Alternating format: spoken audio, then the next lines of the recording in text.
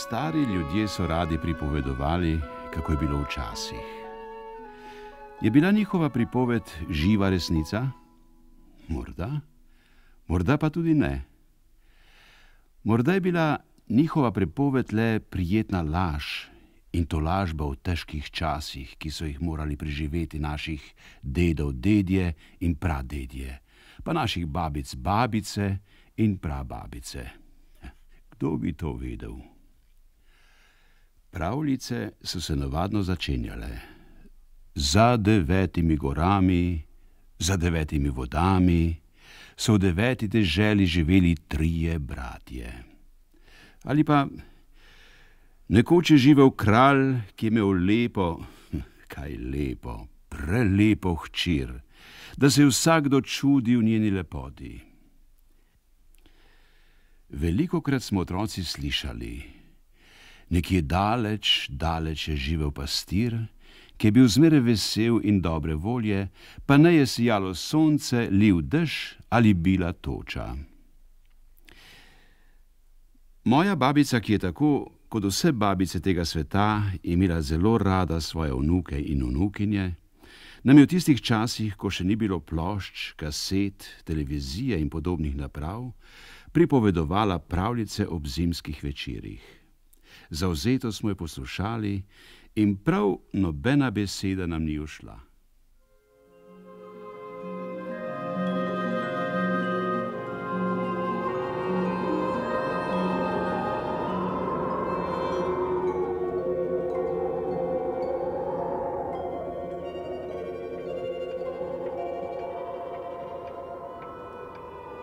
V naši deželi kroži med ljudmi veliko pravljic prav posebna pa je tista o rdeči kapici. Kdo nam lahko potrdi, da je resnična? Samo rdeča kapica in njena mati bi lahko potrdili. Tudi rdeče kapice in njene matere že dolgo, dolgo ni več. Bilo je to v tistih časih, ko si ljudje in živali niso bili tako vsak sebi, kakor dan danes. Takrat je živela majhna, srčkana deklica, ki jo je vsakdo vzljubil, če jo je le pogledal. Najrajši pa jo je imela njena babica. Najrajši pa jo je imela njena babica. Ta sploh ni vedela, kaj vse bi ji dala. Ko se je spustil mrak nad gozdove in jezera in so sence zagrnile otroški smeh, se je babica obrnila k ljubljeni deklici.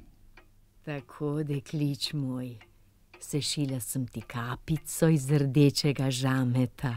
Zame, babica. Zate, zate, lepo mirijo. No, zavrti se, da si te ogledam. Kako je lepa.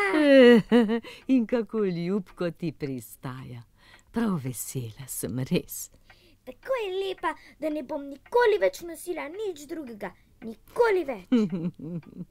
ja, če je pa tako, ti bomo odslej rekli rdeča kapica.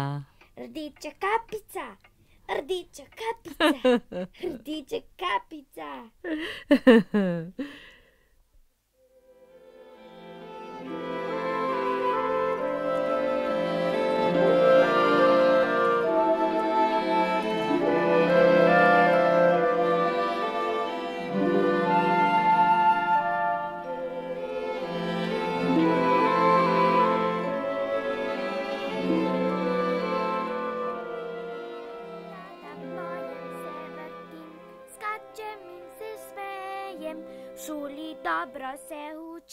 že do sto preštejem. In kako mi je ime, videli bi radi, vsakdorkoli me pozna, pravi rdeča kapica. Rdeča kapica. La, la, la, la, la, la. Rdeča kapica. Prosim, mama, tukaj sem. Že dolgo nismo obiskali babice. Na, rdeča kapica, tu imaš kos pogače in steklenico vina in nesi to naši babici. Babica je bolna in slaba in to ji bo dobro delo. Pokrepčala se bo. Takoj bo mama, samo še. No, le hitro se odpravi, da ne bo prevroče. Ampak mama, do babice je dve uri hoda, jaz pa. Zato me dobro poslušaj. Ko prideš v gost, hodi lepo naravnost in ne tekaj po stranskih stezah, da ne boš padla in razbila steklenice. Tako bi babica ničesar ne dobila. Prav, mama. In ko stopiš v sobo, ne pozabi voščiti dobro jutro in ne kukaj prej po vseh kotih in kotičkih. Vse bom napravila, kakor je treba. Rdeča kapica, rdeča kapica. Košarico si pozabila. Res, Še nekaj si pozabila. prosti, mama. Nasvidenje. Pridna bodi rdeča kapica. Srečno pot.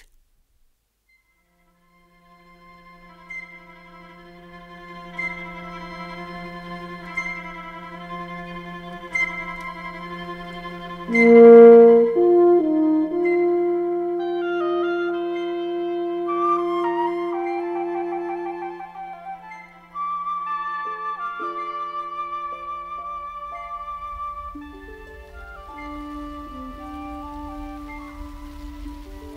jutro, gost.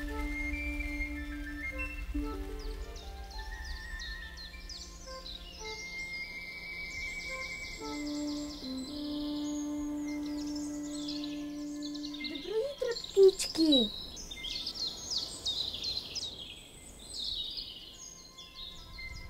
Dobro jutro, ježek.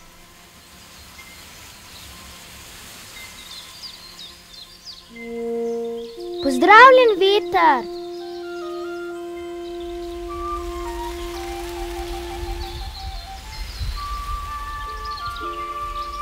Dobro jutro, potoček.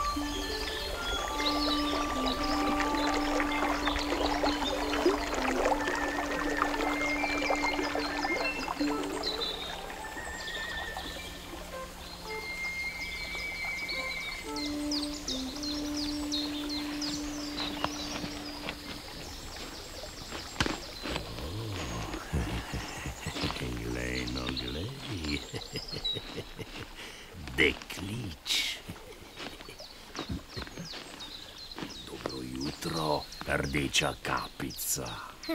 Dobro jutro, volk. Kam pa kam, tako na vse zgodaj. K babici sem namenjena. Kaj pa imaš v košarici, rdeča kapica? Kos pogače in steklenico vina. Včeraj smo pekli, pa ne se babico, ki je bolna in slaba, malo posladka in pokrepčastim. Rdeča kapica.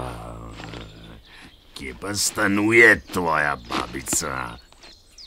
O ja, kakšne četrt ure hodajo še, čisto v gozdu, pod tremi visokimi hrasti in njena hišica. Okrog nje je leskova meja z lešniki. Saj jo gotovo poznaš. Poznam, seveda jo poznam.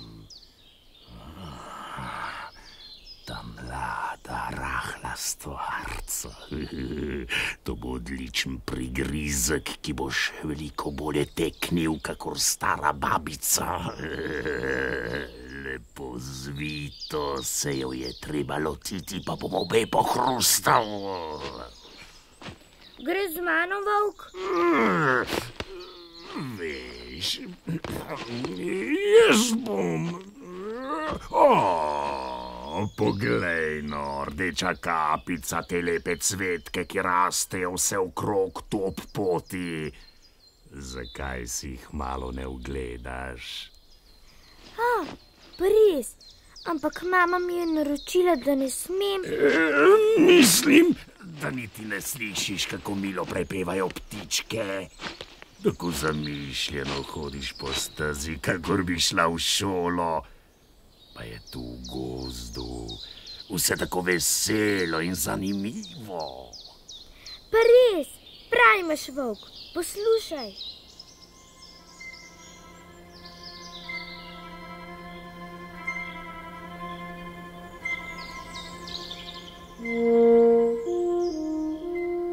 Če na trg Pripravljam šopek za babico, ki bo gotovo zelo vesela.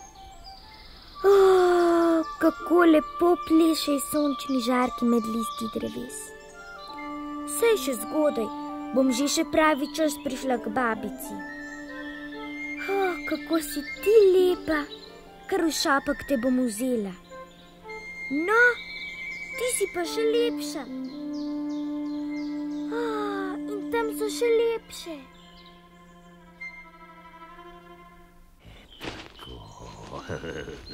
Tako je dobro in prav. Globije, če dalje globijo v gozd. Naprej, kar naprej.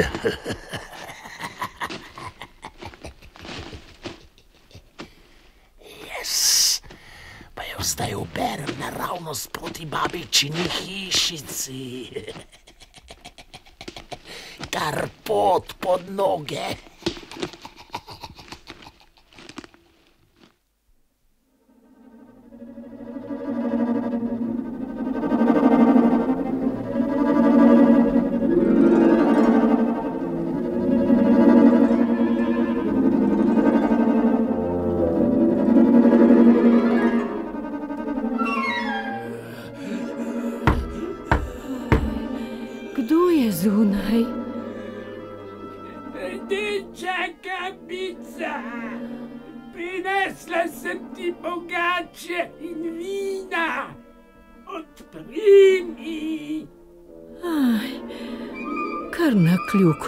Pritisni. Preveč sem slaba, ne morem ustati.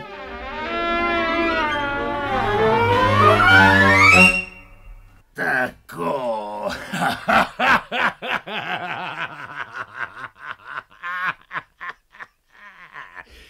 Babice, ni več.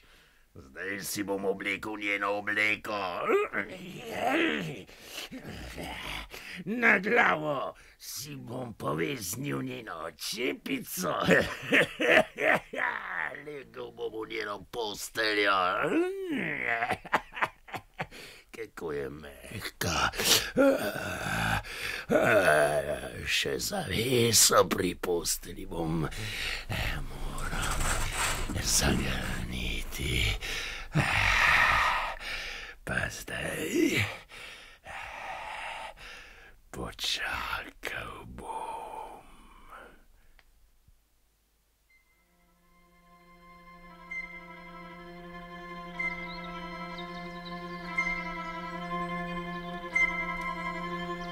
Mm-hmm.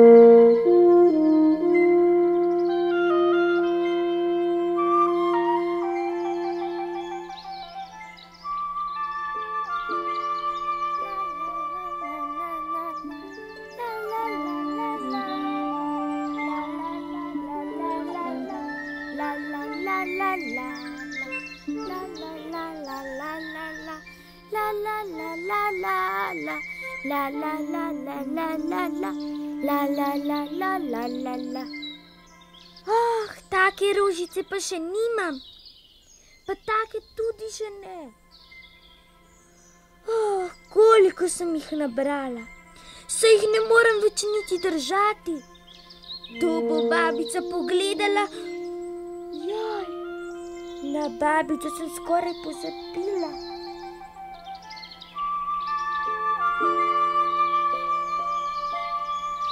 Koliko časa sem nabirala šopek? Hitro, hitro moram k babici.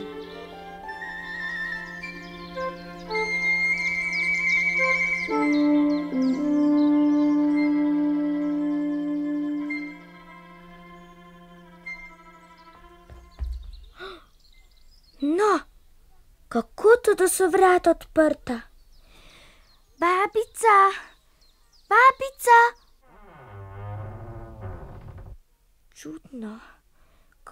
Tesno mi je danes pri srcu, pa sem bila drugače zmerom tako rada pri babici. Dobro jutro.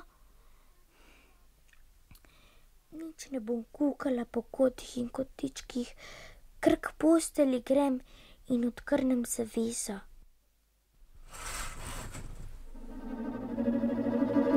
Ojej, babica, čepice imaš potisnjeno globoko na obraz in tako čudna si videti. Joj, babica, kako velika ušesa imaš. Da te lahko bolje slišim. Joj, babica, kako velike oči imaš. Da te lahko bolje vidim. Joj, babica, kako velike roke imaš. Da, te lahko bolje skrabim. Joj, mene babica, kako grozno velika usta imaš. Da te lahko požrem.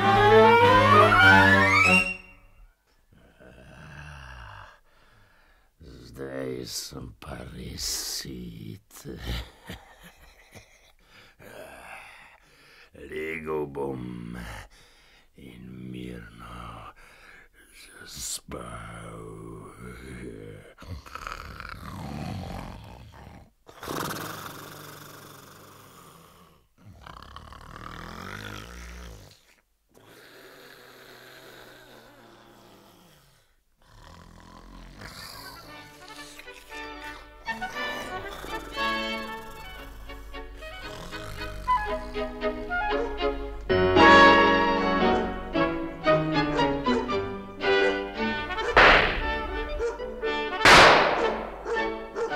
Spet nič. Tiho. Pst.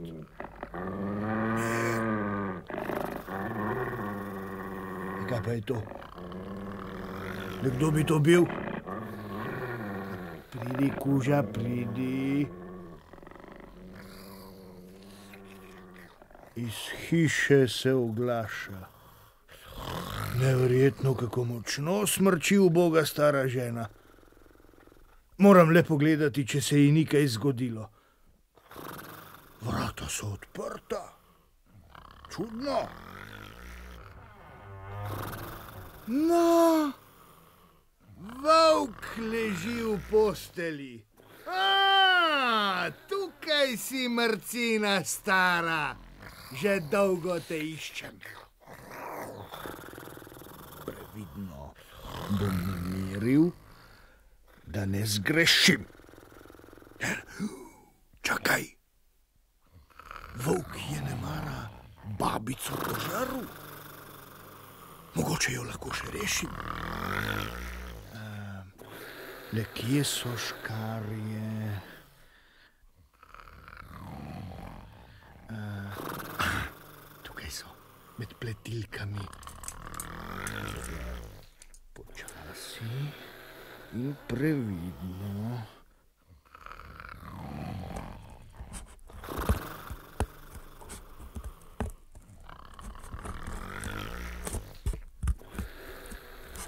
Koga vidim? Rdeča kapica. Po, počakaj malo, počakaj. Tako. Kako me je bilo strah, tako temno je bilo v volkovem trebuhu. In kje je babica? Jo ne vem, Oh, tukaj sem. Ojej, komaj sem še živa in komaj še di diham.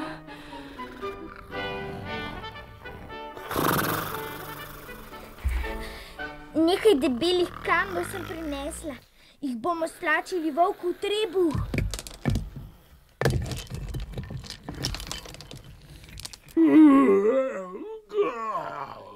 Kako tišči, kako tišči, ven, hitro ven.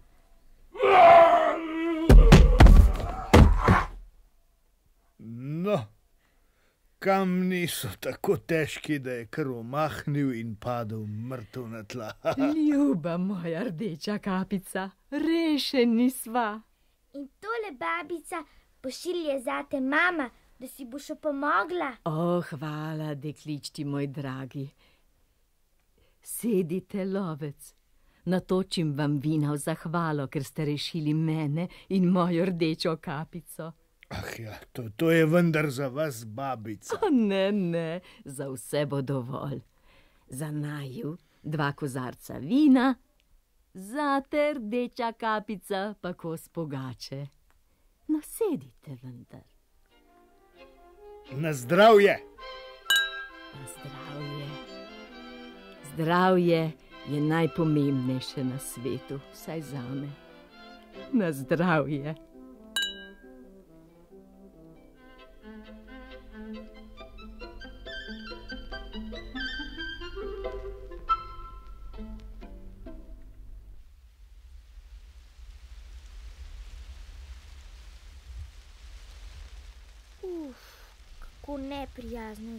Jesensko vreme.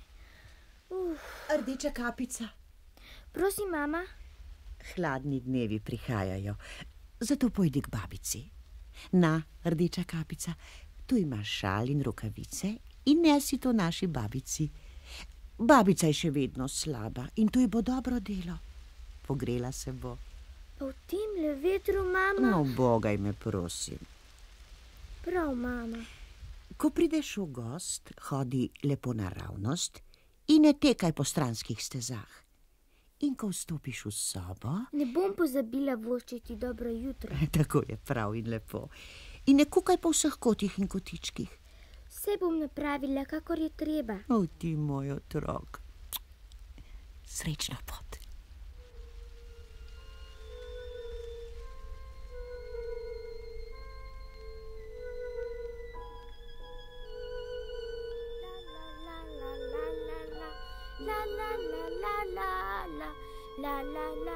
La la la la la la la la la la Dobro jutro, gost. Dobro jutro, potoček, kako si zrasel. Dobro jutro, ptički. Oh, ja, odleteli so na jug. Pozdravljen, veter. Uh, kako si hladen. Dobro jutro, volk. Pa kam že tako ne vse zgodaj, rdeča kapica? K babici sem namenjena. A, k babici. Kje pa stanuje tvoja babica, kaj? Uh, kažem četrt ure hodaje še. Ne boš me premutil, požrešni volk. Dale, čisto v gozdu, daleč. Rdeča kapica. Tu v gozdu je vse tako veselo in zanimivo. Zakaj hodiš le po glavni poti? Ozri se naokrog. Koliko malih stezic je tu, koliko zanimivih stvari bi videla, če bi široko odprla oči. A? Bo mogoče kasneje, volk, mudi se mi k babici. Ne hiti, ne hiti. Naprej moram. Pozdravljena, rdeča kapica. Mogoče se še kdaj vidiva. Prav kmalo. Upam vsaj.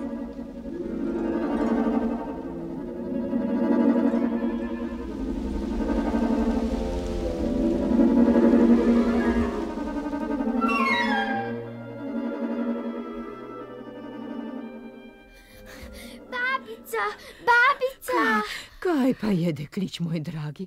Kaj se je strašnega zgodilo? Veš, Kaj? veš, babica, v gozdu spet je bil, bil volk. Ojoj, kako trepetaš, ubogi otrok. No, pomiri se. Kaj je bilo, povej?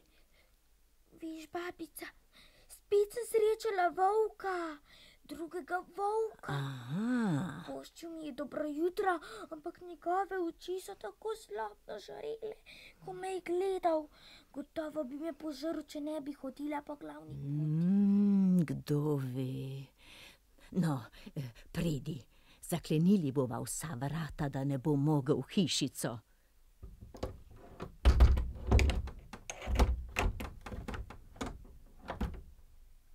Tako, zdaj pa tiho, da naj ju ne bo slišal.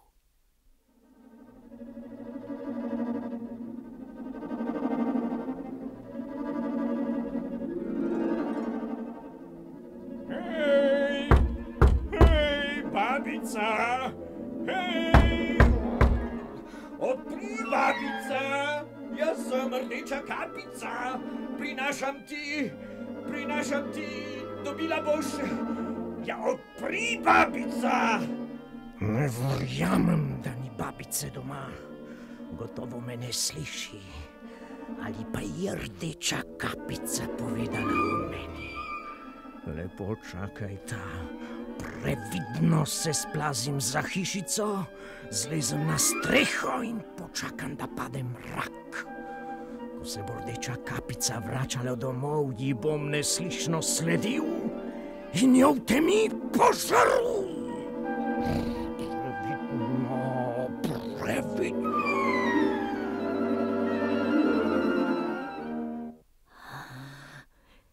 Si ga videla, rdeča kapica, kako potuhnjeno se plazi za hišico. Skočil je na streho, skriva se za dimnikom. Ne, ne, ne boš naju potegnil, mrcina. Dobro me poslušaj, rdeča kapica, in stori vse, kakor ti bom naročila.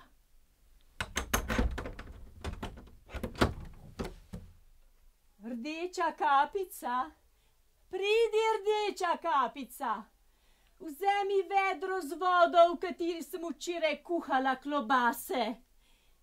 Znosi jo v tisto kamnito korito na dvorišču. Takoj, babica, že nesem.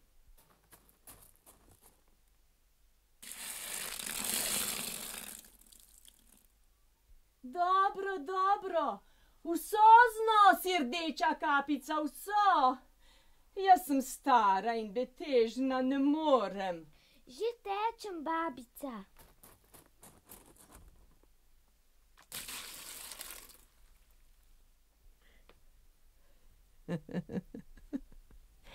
Glej, kako volk steguje vrat. Vsak hip bo pokukal izza dimnika. Boš videla, premamil ga bo von klobas. Mm. Ojoj, drsi! Bom! Padel!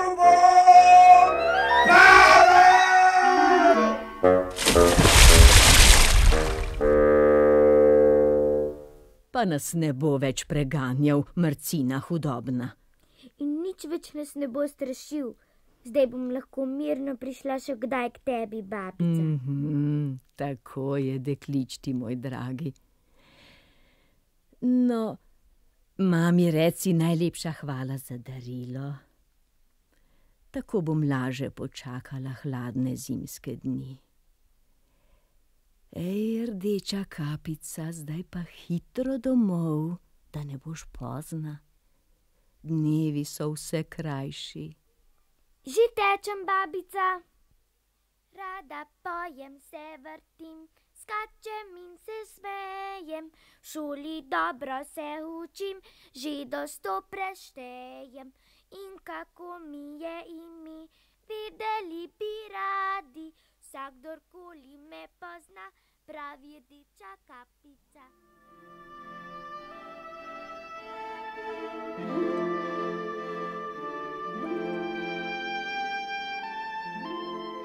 In ko se spušča mrak nad gozdove in jezera, in sence zagrnejo otroški smeh, od tistih časov dalje nikogar več ne preganjajo zlobni volkovi. In v otroška srca se naseli mir.